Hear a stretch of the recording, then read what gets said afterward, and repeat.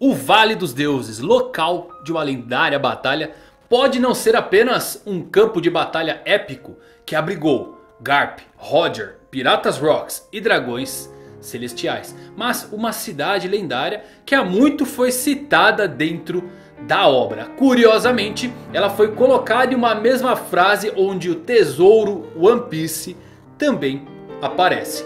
Quer saber qual o verdadeiro nome do Vale dos Deuses? Então se liga que eu vou falar nisso agora.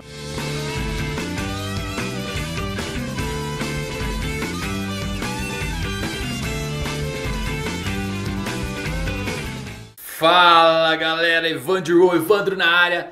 Como vocês estão? Espero que todos estejam muito bem preparados aí para mais uma enxurrada de informações novas de One Piece. O que é God Valley? Qual o seu nome? Verdadeiro? Será que é Raftel? Será aquele monte de gente reunida ali? Não, eu acho que é um outro lugar lendário que foi citado dentro da obra e você provavelmente não se lembra. Mas antes de eu falar, é lógico, aproveita aí para se inscrever, é de graça, você não paga nada, é escritão mangalático. Dispara o like e ativa o sininho para receber todas as notificações de novos vídeos. Agora sim você vai saber o verdadeiro nome da ilha de God Valley. Se você é um fã de longa data de One Piece sabe que Eiichiro Oda, o criador da série, é um detalhista demonstria. Ele insere dicas e faz prenúncios na obra que se concretizam vários anos depois.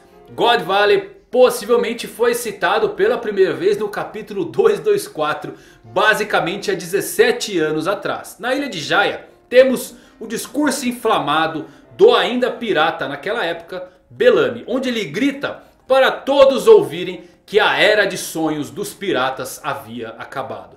Todos que acreditaram nesses mitos morreram por culpa de sua imaginação fértil. Bellamy afirma que a cidade de ouro não existia. O tesouro One Piece tampouco, apenas uma lenda. Mas ele cita outro lugar que também não passa de uma lenda. A cidade Esmeralda. Segundo Bellamy, a cidade perdida de ouro não existia. Nem a cidade Esmeralda. Mas todos nós sabemos que a cidade perdida de ouro realmente existiu. Inclusive Luffy esteve lá. Então por que não seria verdade também para esta cidade Esmeralda. Outro ponto legal é que no anime somos apresentados a Soran lá em Tequila Wolf. Lugar onde Robin foi enviada por Kuma durante o time skip.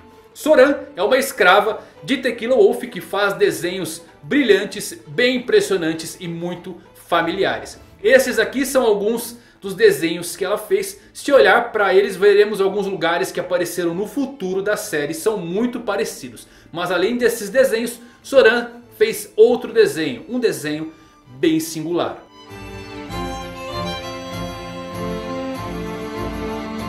Então no capítulo 881, quando Jinbe está guiando o navio para fugir de Big Mom, ele diz a Nami e os outros para se segurarem porque iriam entrar na Sala Verde. O que muitos acharam ser um movimento de fuga tem muito mais escondido. Inclusive Brook grita que o Salão Verde ele provavelmente estava se referindo a ir direto para o paraíso. Apenas uma piada óbvia de Brook, sim, mas se você olhar mais a fundo nas lendas marítimas reais, existe um mito chamado o Verde do Violinista que é uma vida após morte lendária, onde há alegria perpétua, um violino que nunca para de tocar e dançarinos que nunca se cansam. Exatamente, no folclore marítimo do século XIX, por exemplo, era uma espécie de vida pós-morte para os marinheiros que serviam pelo menos 50 anos no mar. Brook está muito tempo navegando e deve ter visto lugares incríveis. Além do que, em algum momento ele vai contar esta história antiga e surpreender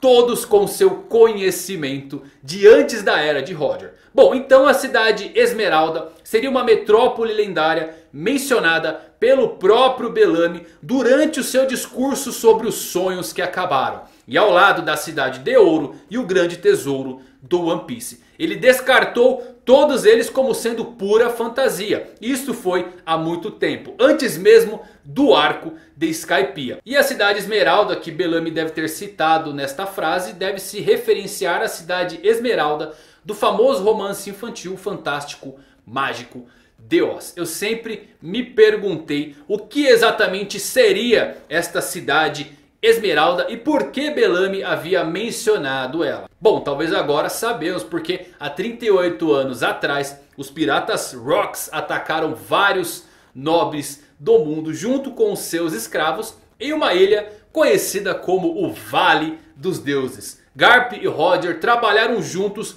para derrotar a tripulação terrível dos Rocks.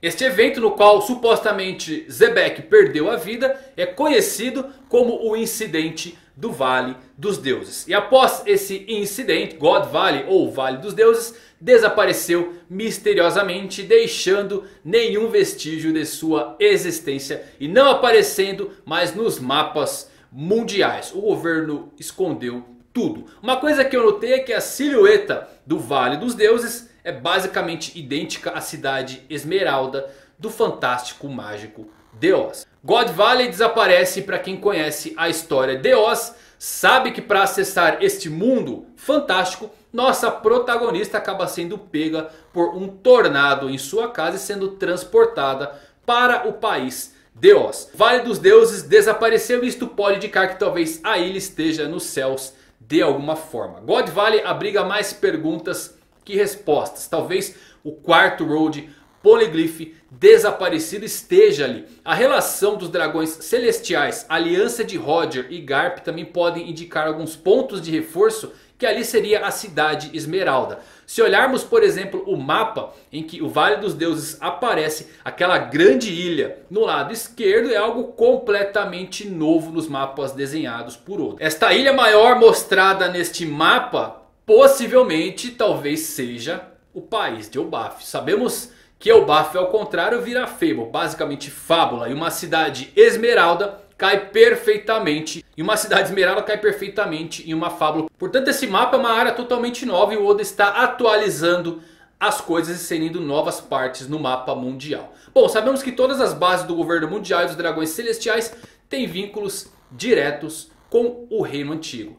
Mary Joa, por exemplo, é a morada deles e existe desde o século perdido pelo menos. Então, por que teríamos dragões celestiais no Vale dos Deuses? Sabemos que às vezes eles descem ao mundo inferior, como chamam, né? Para fazer visitas. E potencialmente todos os dragões celestiais estavam reunidos no Vale dos Deuses. Isto também soa como um evento que ocorre regularmente, ou pelo menos ocorria. Rox foi capaz de planejar um plano massivo de assassinato porque sabia que os dragões celestiais estariam lá. Então por que todas as famílias dos dragões se reúnem? Algo importante certamente deve estar acontecendo nesse lugar. Aqui as opções são infinitas e não temos qualquer base para afirmar algo. Mas talvez o aspecto de beleza do local, como um vale tão grande que se estende por toda a ilha, seria o fato interessante de se colocar. Se o local realmente for coberto